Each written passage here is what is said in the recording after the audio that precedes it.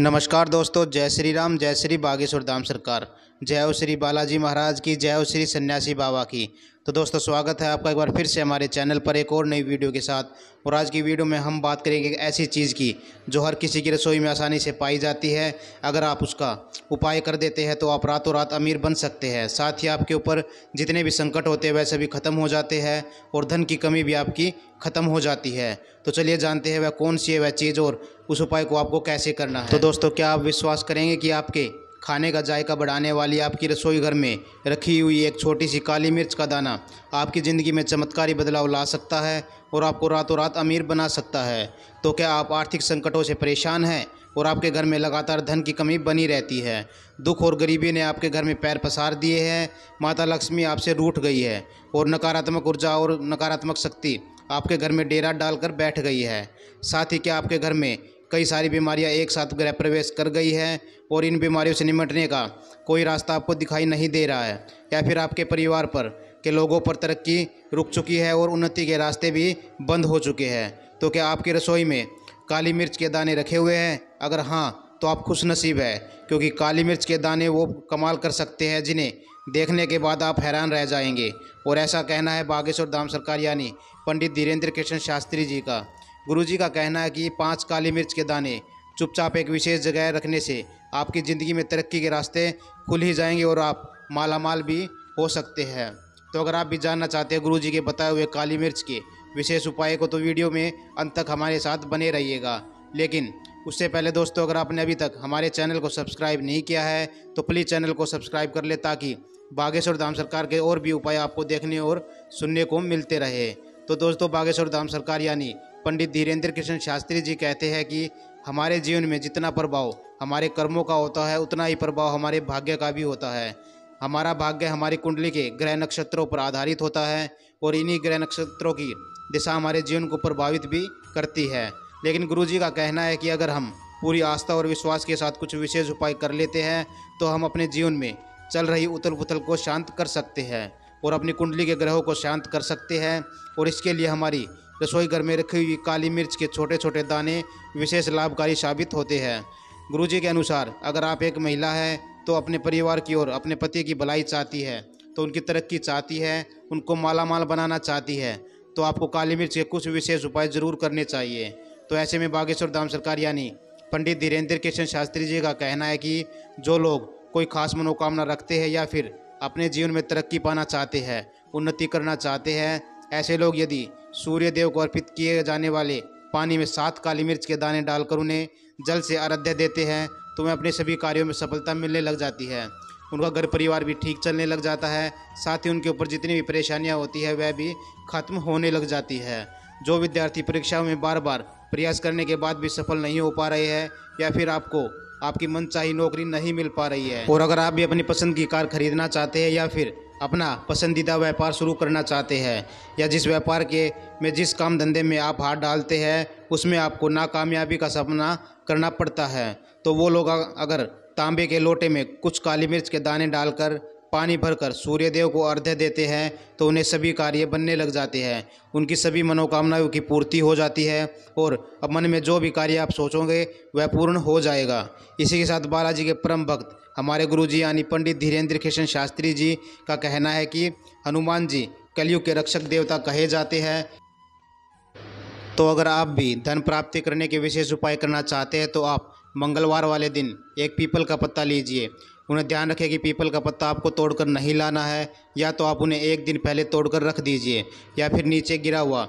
अगर आपको पत्ता मिल जाता है और पत्ता सही सलामत होना चाहिए, कहीं से कटा फटा नहीं होना चाहिए, साथ ही पत्ते में कोई खराबी भी नहीं होनी चाहिए। अब इस पत्ते पर आपको हनुमान जी के ऊपर चढ़ाने वाले सिंदूर से हनुमान जी का मंत्र, ओम हनु हनुमते नम है लिखना है। फिर इस पत्ते पर ग्यारह लौंग, एक सुपारी, दो काली मिर्च, दो इलायची रखकर जनेऊ लपेट दीजिए। और पूजा करते समय इसे हनुमान जी के चरणों में रख दीजिए। अब यह सिद्ध किए हुए पीपल के पत्ते को आप अपने घर की तिजोरी में रख दीजिए। हनुमान जी पर चढ़ने वाला सिंदूर से अपने घर के मुख्य दरवाजे के दोनों तरफ़ स्वास्तिक बना दीजिए। ये उपाय माता लक्ष्मी को आपके घर में खींच लाएगा। इसके अलावा गुरु जी का कहना है कि काली मिर्च का उपाय करने से आप अपनी कुंडली में शनि दोष को भी ख़त्म कर सकते हैं। तो अगर आप कुंडली में साढ़े साथी या ढैया का योग है तो शनिदेव आपको कष्ट दे रहा तो ऐसे में आपको एक काला कपड़ा लेना काले है। कपड़े में आपको पाँच काली मिर्च के दाने और ग्यारह रुपये रखकर एक पोटली बना लेना है। इसके बाद इस पोटली को किसी ज़रूरतमंद को दान कर दीजिए। ऐसा करने से आपको ना केवल शनिदेव की कुदृष्टि से छुटकारा मिल जाएगा, बल्कि आपकी कुंडली में राहु, केतु के दुष्प्रभाव भी खत्म हो जाएँगे। अगर आप आर्थिक और शारीरिक रूप से स्वस्थ रहेंगे, इसी के साथ बागेश्वर धाम सरकार यानी पंडित धीरेन्द्र कृष्ण शास्त्री जी का कहना है कि अगर आपको सफलता नहीं मिल रही है, आप बार बार किसी काम के लिए जाते हैं, लेकिन आपको सफलता नहीं मिलती है या फिर कोई भी रुकावट आ जाती है जिसे आपके काम में हाथ डालते ही आपका काम पूरा नहीं हो पाता है, आपको असफलता का सामना करना पड़ता है। तो ऐसे में आप जब भी किसी शुभ काम के लिए घर से बाहर जाए तो अपने हाथों में ग्यारह दाने काली मिर्च के ज़रूर ले। इसके बाद घर के मुख्य दरवाजे पर इन काली मिर्च को रख दीजिए और अपना दाहिना पैर इन काली मिर्च के ऊपर रखते हुए घर से बाहर निकल जाइए। ऐसा करने से आप जिस भी कार्य के लिए जाएँगे, वह कार्य आपका ज़रूर ही सफल हो जाएगा। उसके बाद बागेश्वर धाम सरकार का कहना है कि काली मिर्च का विशेष उपाय करके आप अपने घर पर या घर के किसी सदस्य पर लगे नज़र दोष से भी छुटकारा पा सकते हैं। अगर आपके घर पर किसी ने नज़र लगा दी है या फिर घर के किसी सदस्य को नज़र लग गई है या आपको ऐसा लगता है कि आपके घर में किसी ने कोई तंत्र मंत्र की क्रिया कराई हुई है या नकारात्मक ऊर्जा ने आपके घर को बर्बाद कर दिया है तो ऐसे में अपने घर में किसी भी कोने में एक मुट्ठी के दिए में सात काली मिर्च के दाने रखकर उसके ऊपर कपूर जलाकर छोड़ दें। इसके धुएँ को पूरे घर में दिखाए। ऐसा करने से न केवल आपके घर की नकारात्मक ऊर्जा घर से बाहर चली जाएगी, बल्कि आपके जीवन में नकारात्मक ऊर्जा का संचार भी, सकारात्मक ऊर्जा का संचार भी होने लगेगा। और आपके घर में जो वास्तु दोष होगा, उसका भी अंत हो जाएगा। साथ ही किसी व्यक्ति को नज़र लग जाती है या आपको ऐसा लगता है कि नज़र दोष का प्रभाव आपके घर पर लगा दिया गया है तो ऐसे में आप एक मुट्ठी काली मिर्च और जिस व्यक्ति के ऊपर नज़र दोष का प्रभाव हो या अगर आपके घर पर नज़र दोष का प्रभाव है तो 11 बार यह काली मिर्च के दाने का उतारा करके आप इसे घर के बाहर कपूर रखकर जला दें। ऐसा करने से आपको नज़र दोष का अंत हो जाएगा। इसी के साथ आपको यह उपाय भी बता देते हैं जो बागेश्वर धाम सरकार यानी पंडित धीरेन्द्र कृष्ण शास्त्री जी ने महिलाओं को विशेष तौर पर करने के लिए कहा है।